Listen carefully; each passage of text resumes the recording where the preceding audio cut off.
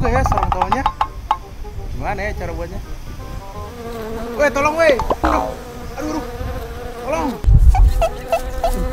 Kenapa kenapa itu? Pipinya apa merah gitu? Kok habis keroyok Keroyok sama siapa? sama warga, aduh. Sama warga. Warga mana? Bilang sama aku. Warga tawon. Waduh, warga tawon. Wow. Mana berani aku. Tapi kalau dilihat-lihat sarangnya gede juga ya. Iya, aku lagi mikirin gimana cara mereka buat sarangnya. Tapi kamu tahu nggak? Dari situ kita bisa mengerti perkembangbiakan lebah melalui pola bilangan. Pola bilangan apa lagi tuh? Iya, pola bilangan itu. Udahlah, nggak usah mikirin pola bilangan lah. Nih, mending ngobatin dulu nih. Oh iya deh, lagi merah. Ayo.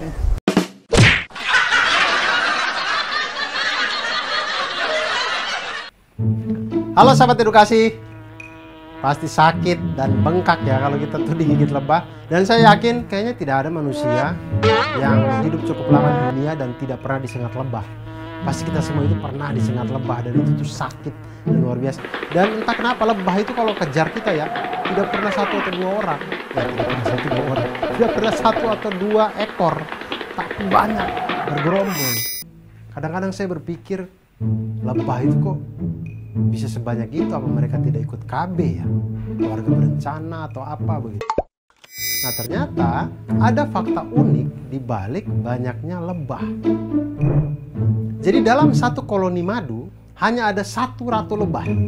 Hanya ada satu ratu karena kalau ada dua ratu berarti mereka akan bertengkar itu. Jadi ada satu ratu lebah. Lebah ratu betina hanya bisa menghasilkan keturunan apabila kawin dengan lebah jantan pekerja semua lebah jantan adalah lebah pekerja. Dari perkawinan ini hanya bisa menghasilkan keturunan berupa lebah betina pekerja atau lebah betina ratu. Jadi kalau dia lahir tidak jadi ratu ya dia pekerja gitu. Ya salah dia kenapa jadi pekerja. Pokoknya takdirnya kalau jadi ratu ya jadi ratu, kalau jadi pekerja ya dia pekerja. Sedangkan lebah betina pekerja hanya bisa menghasilkan keturunan lebah jantan pekerja tanpa perlu ada perkawinan. Jadi lebah betina pekerja itu nanti anaknya akan menjadi pejantan pekerja. Tanpa ada perkawinan pun dia akan menghasilkan pejantan pekerja-pejantan pekerja yang akan nikah dengan mungkin saudarinya yang akan jadi ratu. Ya kurang lebih seperti itulah. Kemudian di sini kita lihat generasi pertama itu akan menghasilkan satu lebah. Generasi kedua juga menghasilkan satu lebah. Generasi ketiga akan menghasilkan dua lebah. Generasi keempat menghasilkan tiga lebah generasi kelima menghasilkan lima lebah dan seterusnya. Jika diurutkan maka menjadi satu, satu, dua, tiga, lima, delapan, tiga belas dan seterusnya. Jika kita perhatikan barisan bilangan yang mana suku ke N merupakan hasil penjumlahan dari beberapa suku yaitu suku N-1 dengan suku N-2.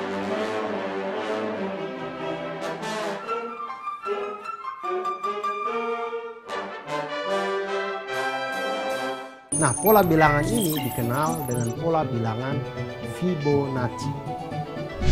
Selain pola bilangan Fibonacci, ada beberapa pola bilangan lainnya seperti pola bilangan asli. Pola bilangan asli genap itu 2, 4, 6, 8, 10.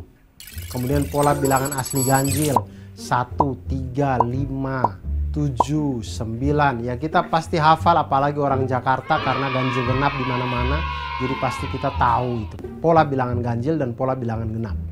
Sekarang ada lagi pola bilangan segitiga atau menyusun segitiga. Itu 1, 3, 6, 10, 15 dan seterusnya. Kemudian pola bilangan persegi panjang ada 2, 6, 12, 20, 30 dan seterusnya. Kemudian pola bilangan persegi kuadrat ada 1, 4, 9, 16, 25, kemudian 49 dan seterusnya 36. Kemudian pola bilangan Pascal itu ada dan lain-lain pokoknya semuanya.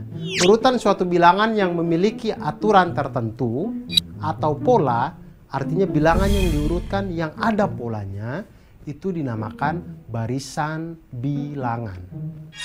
Sahabat edukasi, dari belajar pola bilangan yang ternyata barisan bilangan ini, kita jadi menyadari bahwa kalau kita menemukan bilangan-bilangan yang dia berulang-berulang secara urutan itu ternyata mempunyai pola tertentu dan bisa dimanfaatkan untuk perhitungan. Dan oleh karena itu, ketika dalam kehidupan, ketika kita melihat sesuatu yang sepertinya sulit, jangan langsung menyerah, tapi pelajari karena sesuatu tercipta di dunia ini pasti ada polanya.